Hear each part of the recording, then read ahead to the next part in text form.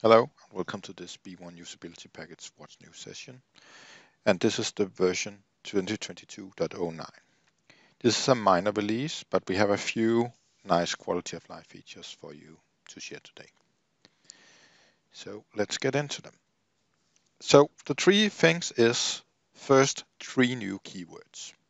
So these keywords are related to your keyboard in that you can hold down uh, in many different uh, products, shift or control or alt in order to do something additional into what you, you do normally. And uh, these three keywords allow you to do this with uh, usability package. Uh, I'm showing it here with printer delivery, but it can be used wherever you can use keywords uh, as normal. So it could, for example, be that you want to have uh, the print button uh, up in your, your system on a sales order and you want to have that if the user hold down shift, something else should happen or control and shift or whatever combination you want. So you have these uh, three keywords uh, and then you can, for example, use conditional actions to suddenly have that it sends out the special email instead of the normal email uh, or whatever uh, comes up. Again, keywords are always, we're throwing them out there and then you can uh, work with them in whatever function you want. You could have, for example, a function button that you, if you hold down control, will actually do something else or a slightly different version.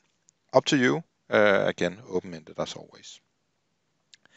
The second feature we have is only if you have an extreme amount of data. Uh, our example here is, for example, projects uh, where I have 30,000 projects in this uh, database.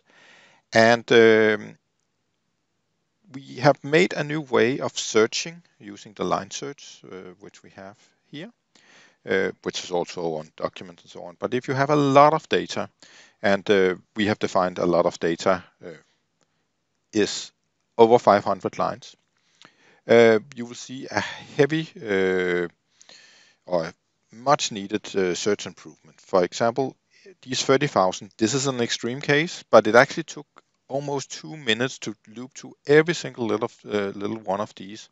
Uh, it's because of UI API from SAP that is slow, but we have found another way. Uh, it's not as user friendly, and that's the reason why we're not turning it down to the very low levels.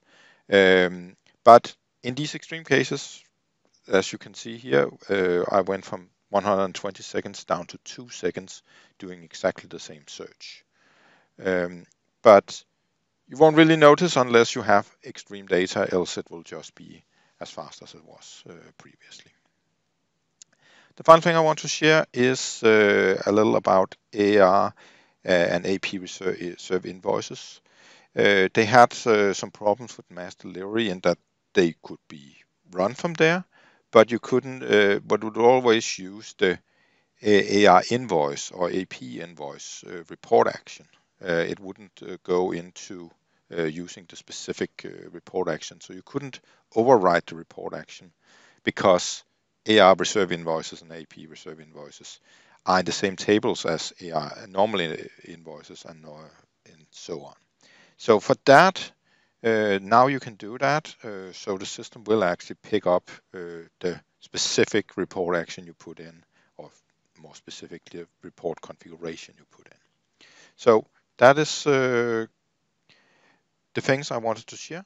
As always, uh, the new release uh, is ready in about a week, 6th of September, as of this recording. Preview is out now in sneak preview if you want to go there.